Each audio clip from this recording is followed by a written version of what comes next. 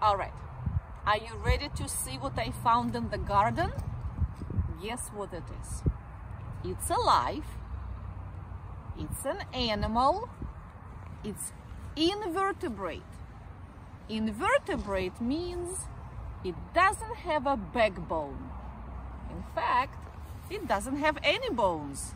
Its body is very flexible and wiggly and soft.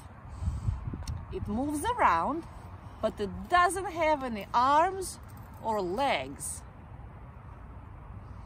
It doesn't have any eyes or ears or a nose on its head. It has only a mouth.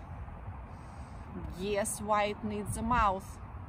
For eating, yes, it eats dirt and rotten leaves, and for digging. It uses mouth for digging.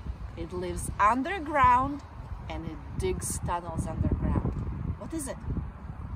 Worm. What is it? Worms. Worms, earthworms. As I was planting, I found a lot of them in the garden.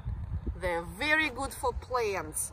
They're very good for gardens because as they dig their way through the ground, as they tunnel underground, they loosen up the soil, they make it fluffy for the roots to grow wide and deep, and they also enrich it with nutrients.